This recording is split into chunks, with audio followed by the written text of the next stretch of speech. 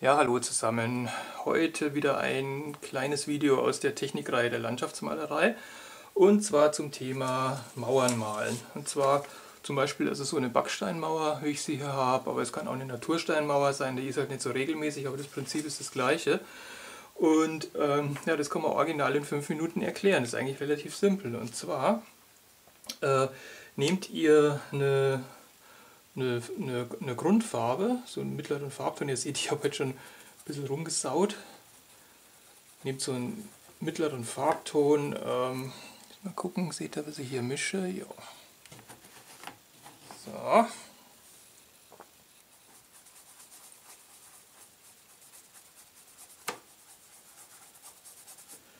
Und malt einfach vollflächig, da wo halt eure Mauer sein soll, malt ihr das halt so hin. Ne?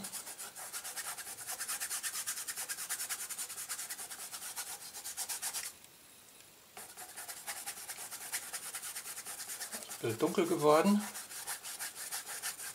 So, und das ist die Grundfarbe der Mauern, die wir komplett übermalen werden, weil die, äh, weil im Prinzip habe ich jetzt nichts anderes gemacht, als die Fugen hier zu malen. Ja? Ich habe die jetzt ein bisschen dunkler gemacht als in dem Fall, weil ich die Steine auch etwas dunkler malen werde. Aber das ist halt der erste Schritt. Also einfach eine Grundfarbe anlegen, etwas heller oder dunkler, wie halt die Fugen von der Mauer, die man halt hat, sind. Jetzt müssten wir das normalerweise ein bisschen trocknen lassen. Äh, ich, ich lasse es ganz klein wenig trocknen. Und dann nehmt ihr euch einen Pinsel, einen Flachpinsel her, einen, der möglichst noch fit ist. Ich habe lauter kaputte, ich glaube der geht nur so einigermaßen. Macht den feucht, formt den, also wenn ihr jetzt eine Backsteinmauer machen wollt, ne, muss ich dazu sagen, formt den und dann mischt ihr euch halt die entsprechende Farbe an. Macht so ein Orange, mache ich mir jetzt und hält es ordentlich auf. Gibt ein bisschen Blau dabei, weil es ein bisschen krass ist. Mit Blau kann ich das Orange abdämpfen. Das ist auf, der, auf dem Farbenkreis liegt es genau gegenüber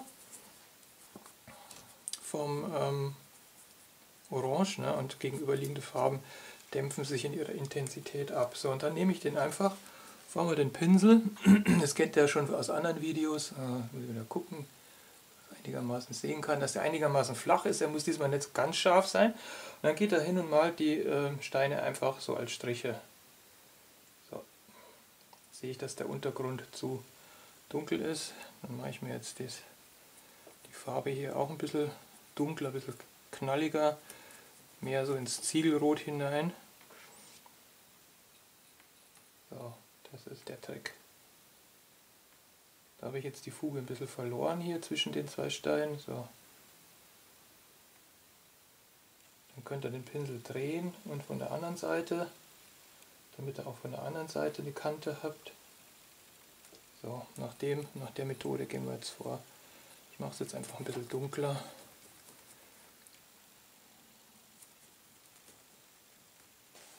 Ja, also die Farben nicht komplett mischen, weil ich möchte halt wirklich alle Nuancen haben. Kann ich jetzt hier zum Beispiel nochmal drüber gehen. Ne? Von der anderen Seite Pinsel aufsetzen, führen, habe ich zwei gerade Kanten.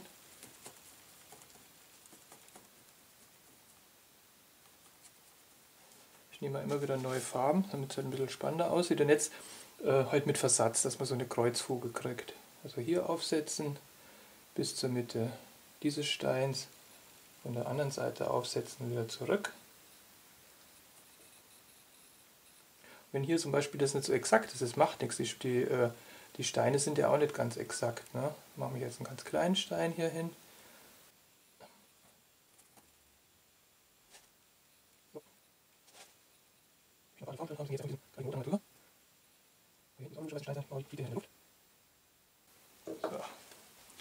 Und man ahnt schon, was da passiert. So, und dann nimmt man sich einen äh, Linierpinsel oder einen Spitzpinsel und macht weiter.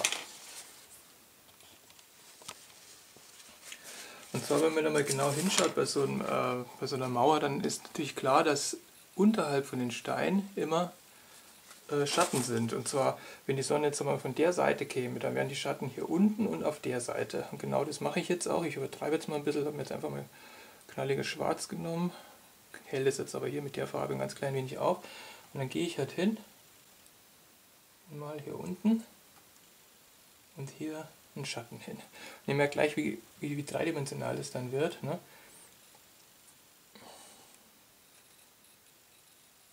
So, machen wir hier auch.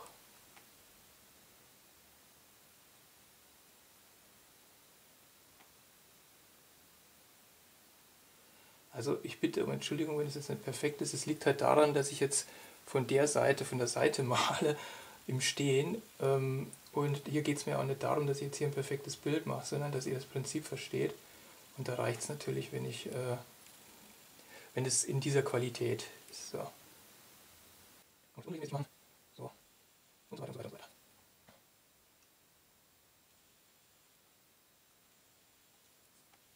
so weiter. So. Und schon ist fast die Mauer fertig. Das sieht jetzt noch ein bisschen aus, als wenn sie schweben würde. Das hängt halt damit zusammen, dass ich hier ähm, die, ähm, die Struktur halt nicht zu Ende gemacht habe. Hier fehlt halt einfach ein paar Steine.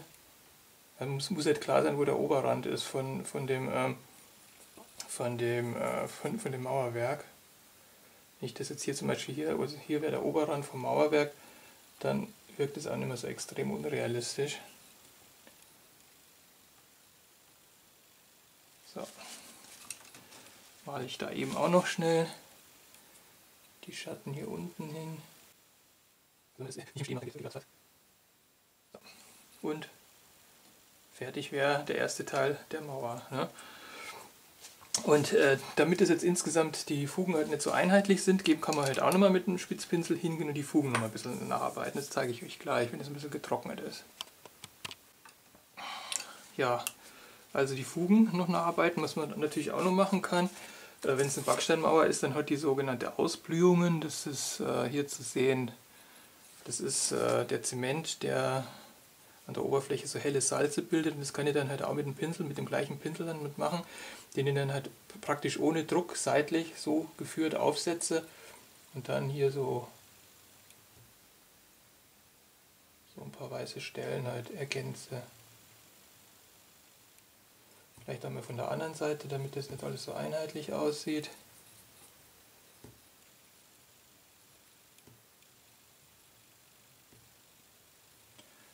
So, und schon kriegt es immer mehr realistische Züge. So, jetzt bin ich gerade am überlegen, wie ich die Oberkante von der Mauer noch mache, dass es ein bisschen schöner aussieht.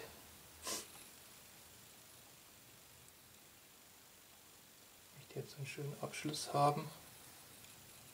So ist besser. Gut, jetzt nehmen wir uns nur die, die äh, Fugen vor. Und da kann ich natürlich jetzt auch hingehen und am gleichen Prinzip sagen, wenn die Sonne von der Seite kommt, dann sind die Oberseiten natürlich ein bisschen heller. Dann kann ich hier die Fugen halt ein bisschen aufhellen. So. Das weiß, weiß, das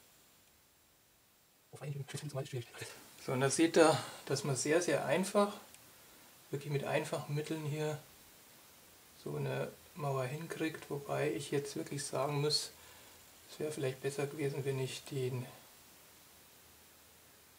wenn ich vorher die, äh, den Untergrund ein bisschen heller gemacht hätte. So. Genau, und dann kann ich halt hier noch ganz zum Schluss hingehen und wirklich so einige Highlights vielleicht noch setzen. So, das sind halt Stellen an, ähm, am Mauerwerk, die halt besonders hell sind, ne? von der Sonne besonders getroffen werden. Nach dem gleichen Prinzip kann ich natürlich hingehen und kann auch besonders dunkle Stellen ähm, machen. Ja, so die, wenn hier eine Erhebung ist, dann ist darunter natürlich ein Schatten. Hier ist eine Erhebung, ist darunter ein Schatten. Also über da, wo es hell ist, muss darunter dunkel sein. Das ist die Logik. So.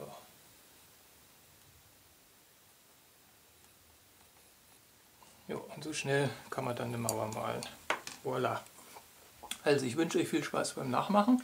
Achso, eine Sache. Ihr könnt natürlich die Steinform völlig un unregelmäßig auch machen. Da müsst ihr halt nur immer überlegen, wie läuft denn der Schatten. Also Ne, wenn die Sonne halt von der Seite kommt, wie, wie läuft denn dann ganz exakt der Schatten. Gut, dann wünsche ich euch äh, viel Spaß beim Nachmachen und äh, ja, bis zum nächsten Video. Tschüss!